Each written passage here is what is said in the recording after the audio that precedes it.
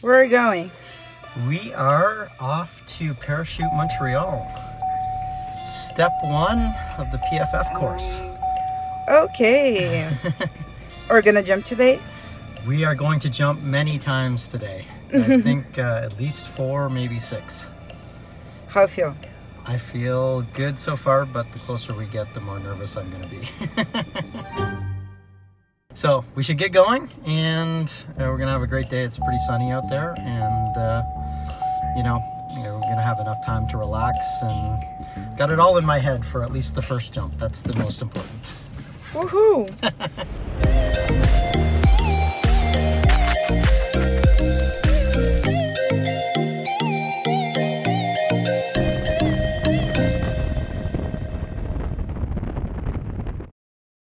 We are.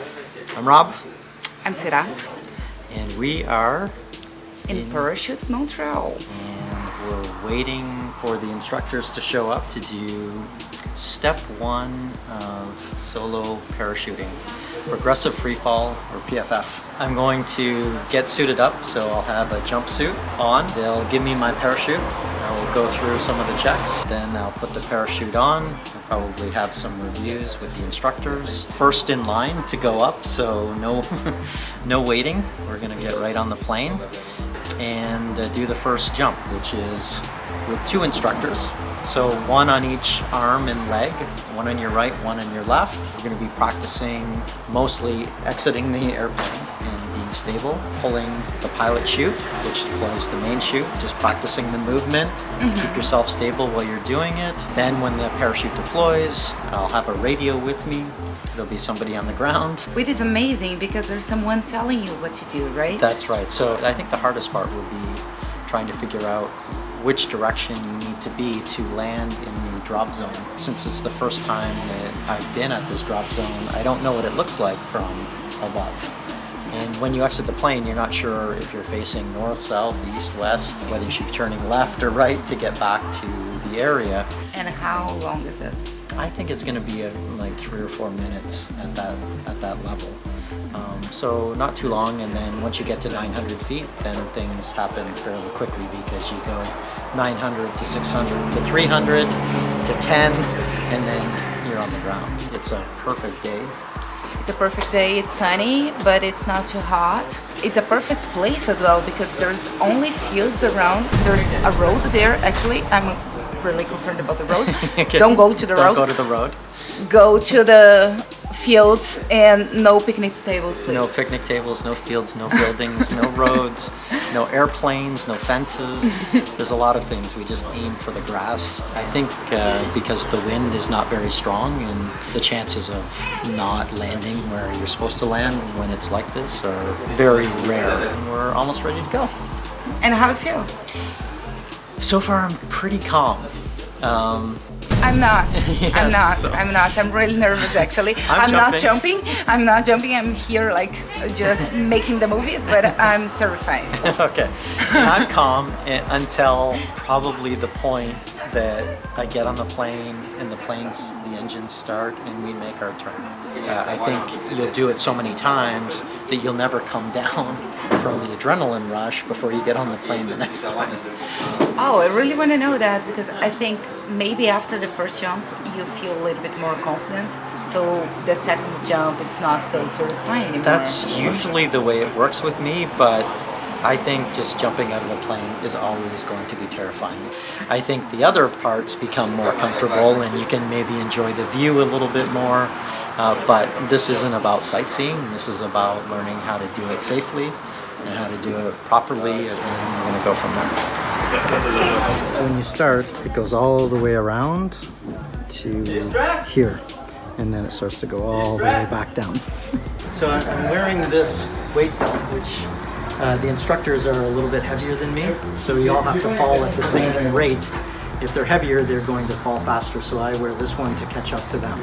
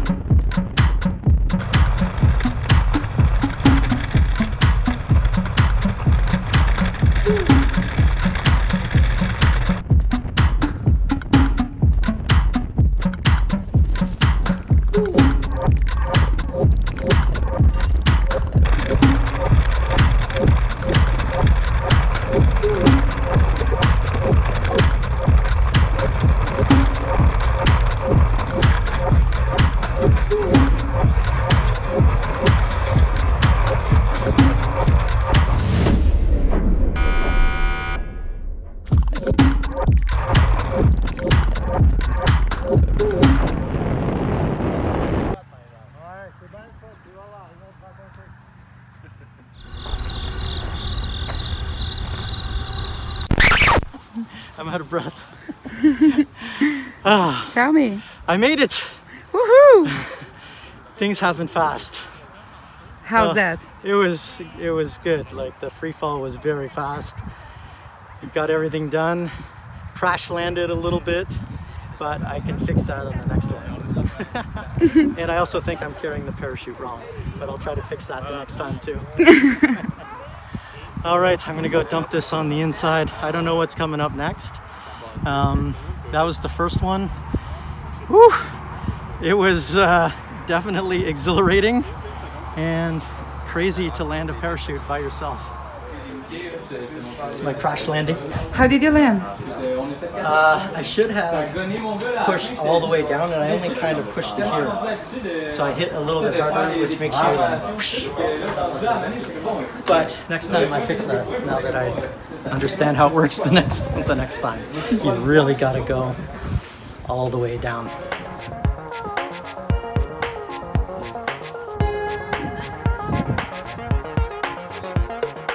Got everything on. It'll be different this one? I'm already less less nervous. Less nervous. That's Yes, good. I feel calmer already. Do you have a radio? My radio works. We've already checked it on the inside. And Now we're ready to go again.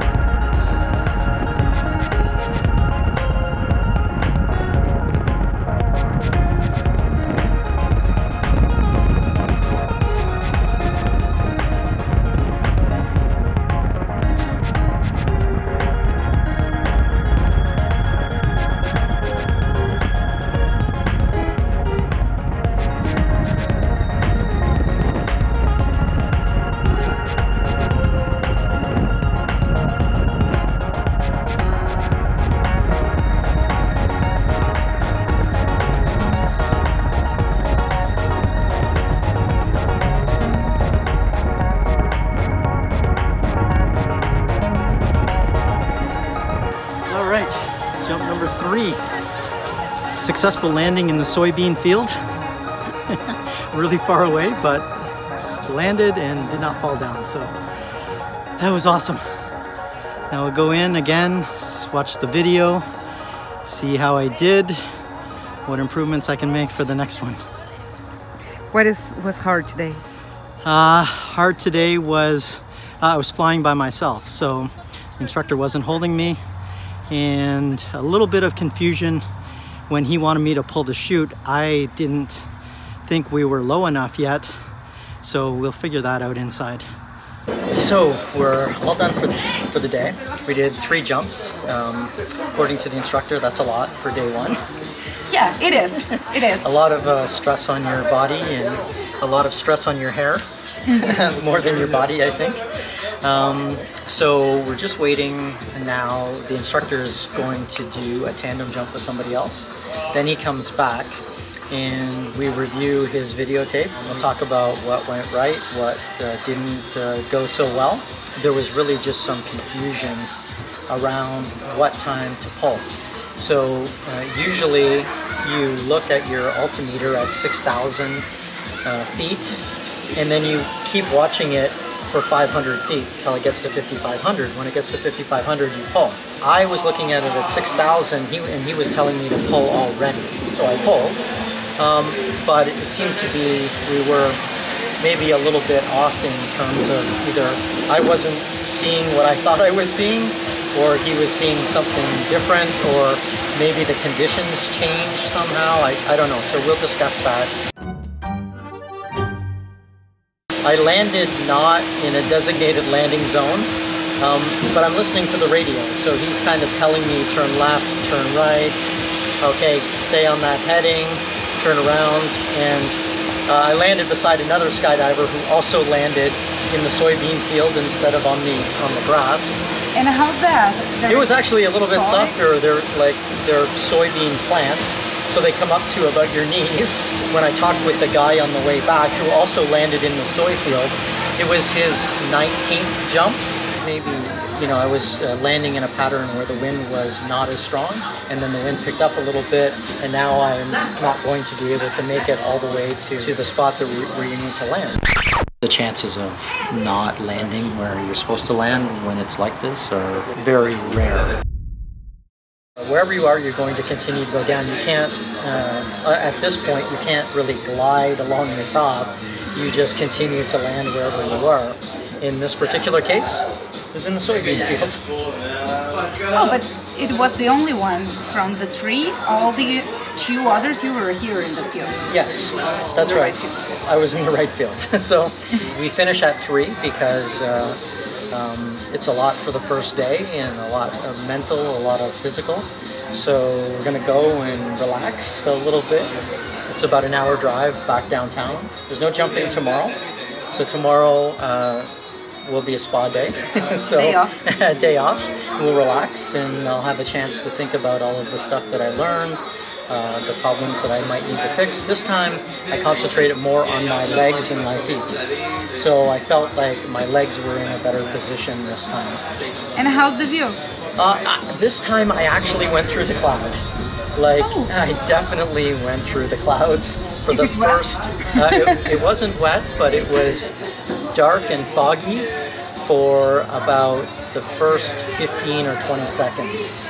And then um, we went through the cloud and then it got clear again. But that time I, I definitely went through a big dark cloud. It was good. It was it was good. I felt uh, a little bit better about it. We'll see what the instructor says though, because he's the authority on whether I progress to the next level or not.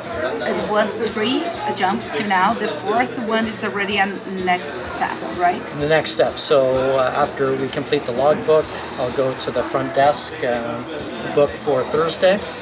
Uh, hopefully Thursday's another nice day like this. I'll do uh, a few more on that day. It looks like it'll wind up taking about three days total. Talk about the tornado. Oh yes. so, it's a nice weather, but here is the tornado. so we we get all geared up. I get my parachute on. We do all of the checks and the procedures. We go to the plane landing area. A giant cloud comes. It starts to rain we all go back, we take off all of our equipment because we need to let this uh, thunderstorm or this storm pass by. So we're sitting on the patio outside right where we're sitting, and one of the instructors looks up at the sky and he sees rotations in the clouds. Right here. Yes, right behind you. us, in the over, over the cornfield just behind us. And when we went over to look, the clouds were rotating and then spiraling down towards the ground.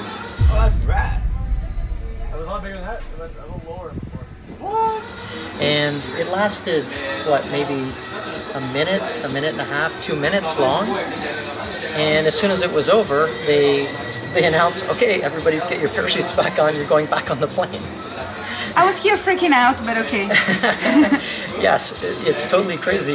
You know, I, first of all, it was stressful to be, you know, when you're ready to go, and then to have to take your parachute off again, and then bring yourself, calm yourself back down, and then you add a tornado happening a few uh, miles away, a few kilometers away from you. What an experience for for jump number three. First day of your jumping solo, right? So- Yes, uh, you know, you, you don't have the experience, and obviously, a tornado is not something you see all of the time. Luckily, it didn't touch the ground, it stayed up in the sky and then disappeared, but for a minute, it was, you know, slowly spiraling itself towards the ground. So we go we go back in, we'll review, and then we uh, we call it a day. Yeah, that's it. We'll both uh, have time for a rest. You from being stressful watching, Yeah. me from being stressful actually doing it, but surprisingly, probably not that much difference in stress. yes, yeah. And we'll be back on Thursday. Thursday.